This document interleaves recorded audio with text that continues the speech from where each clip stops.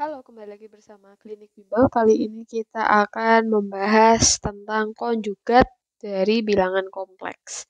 Oke, kemarin kita kan sudah belajar tentang bilangan kompleks ya. Jadi, bilangan kompleks itu memiliki bentuk Z sama dengan X ditambah I kali Y. Nah, bilangan bentuk kompleks seperti ini, dia itu memiliki sekawan sekawannya itu adalah Z kasih topi, X yang tadinya plus menjadi min. Sampai situ oke okay ya. Nah, sekarang kita akan pelajari dulu terkait sekawan. Nah, di sini ada soal, kita disuruh menentukan sekawannya. Langsung saja kita jawab. 2 plus I, dia memiliki sekawan 2 min I. Lanjut lagi, kalau kita punya angka 2, sekawannya adalah, oke, jadi ini kalau kita jabarkan, itu kan 2 plus 0i. Kemudian sekawannya, berarti tandanya berubah menjadi negatif 2 min 0i. Hasilnya tetap 2. Lalu soal ketiga, Misalkan kita punya 3 min 2i. Maka sekawannya adalah 3 plus 2i. Kemudian yang D, 3i. Kalau ada 3i, sekawannya apa? 3i itu kan berarti bilangan realnya itu 0 ditambah dengan 3i. Ya kan? Berarti sekawannya adalah 0 min 3i. Akhirnya apa nilainya? Min 3i. Nah, kurang lebih seperti ini. Nah, kesimpulannya apa? Kesimpulannya kita letakkan di sini ya. Kesimpulannya apa? Jadi, eh, ketika ada atau misalkan bilangan kompleks itu Z sama dengan X plus I, Y, dia itu memiliki konjugat konjugat dari Z itu dinotasikan dengan Z topi di mana Z topinya itu adalah sekawannya atau lawannya. Z topi sama dengan X min I kali Y. Jadi konjugat sama aja dengan sekawannya. Selanjutnya kita akan belajar tentang operasi konjugat pada bilangan kompleks. Misalkan kita punya bilangan kompleks X plus I dikali Y, kemudian kita suruh tentukan nilai dari X dan Y yang memenuhi 3i plus 3z sama dengan 9. Oke, bentuknya adalah seperti ini. Oke, lanjut.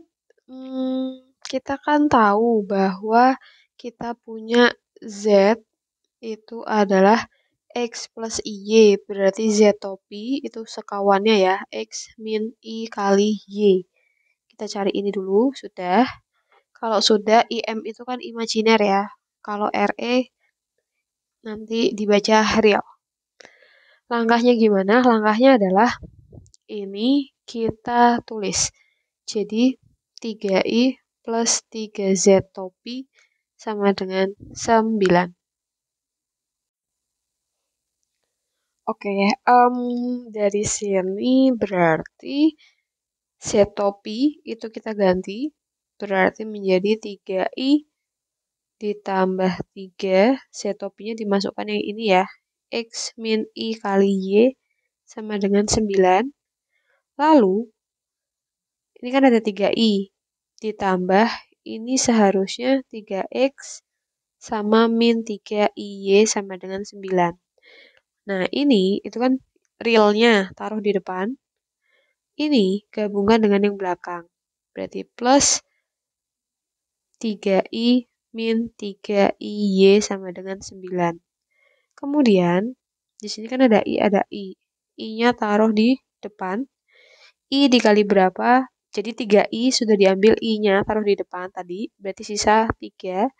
Lalu min 3IY sudah diambil angka I-nya, berarti sisanya adalah min 3 ya. Sebentar. Ini 3X keluar, kemudian kali 3. Oke, kita lanjutkan. Jadi I-nya tadi kita keluarkan berarti 3, lalu 3Y sudah diambil I-nya berarti sisanya 3Y. Ya. Nah, uh, oke. Jadi kita udah dapat ini tuh adalah ini tak hapus saja ya. Ini kita udah dapat dari bentuk 3i plus 3z. Itu hasilnya seperti ini.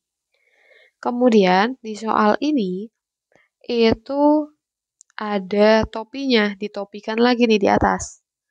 Artinya kita cari sekawan dari 3x plus i 3 min 3y, yaitu 3x tandanya dari yang positif berubah menjadi negatif, i kali 3 min 3y. Jadi yang ini itu adalah hasil topinya.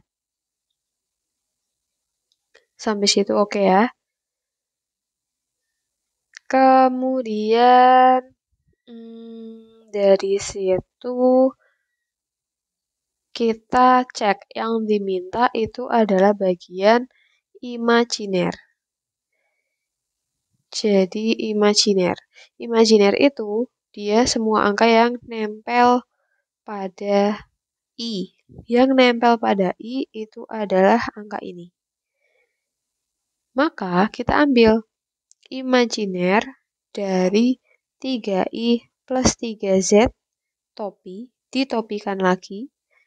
Itu berarti ambil yang 3 min 3y. Nah, tandanya jangan lupa negatif, berarti dinegatifkan seperti ini. Dengan nilai sama dengan 9. Sehingga min kali 3 menjadi min 3, min kali min 3 menjadi plus 3y sama dengan 9. Maka 3y sama dengan 9 plus 3.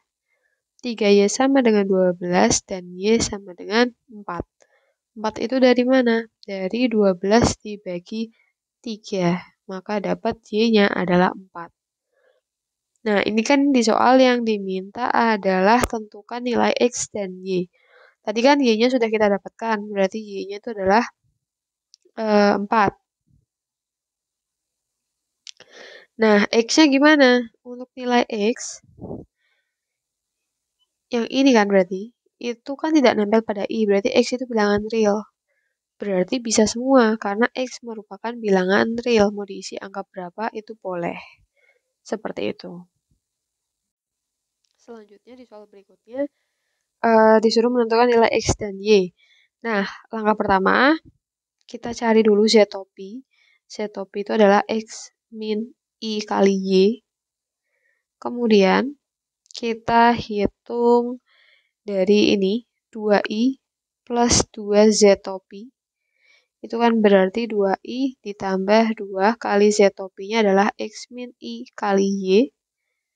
Maka menjadi 2i plus 2x min 2i y. Kemudian 2x-nya taruh depan, lalu sisanya 2i min 2i y. Jadi ini sama ini kita gabung. Setelah itu 2x plus i-nya taruh di luar, sisanya adalah angka 2, lalu min 2IY sudah diambil I, berarti sisanya adalah 2Y. Ya, sampai situ oke. Okay. Kalau sudah, ini kan ditopikan lagi. Berarti uh, kita hitung. Kita cari dulu Z. Eh, kita cari dulu 2I ditambah 2Z topi, ditopikan lagi itu berarti kan lawannya ya. Lawannya berarti 2x min i kali 2 min 2y. Kita tinggal ganti positif dengan negatif. Nah, kalau sudah yang ditanyakan apa? Yang ditanyakan adalah bilangan real. Karena yang ditanyakan adalah bilangan real, jadi keempat yang ditanyakan adalah RE atau real. Itu artinya apa? Tidak nempel I. Berarti nempel I. Kita pisah dulu. Nah, tidak nempel I. Berarti yang kita pakai adalah yang 2X. Berarti 2X kita sama dengan kan hasilnya, yaitu 8. Maka X sama dengan 8 per 2 sama dengan 4. Jadi X sama dengan 4. Nah, untuk Y-nya gimana? Nah, jadi uh, kita review lagi. Jadi kalau yang 2X ini, itu adalah yang realnya, dan ini adalah bagian yang imajiner. Nah, karena yang diminta itu adalah bilangan real dari 2i ditambah 2z topi ditopikan lagi, maka nanti untuk nilai y itu bisa masuk semua bilangan realnya. Jadi kita bisa tulis bahwa y-nya semua bilangan real.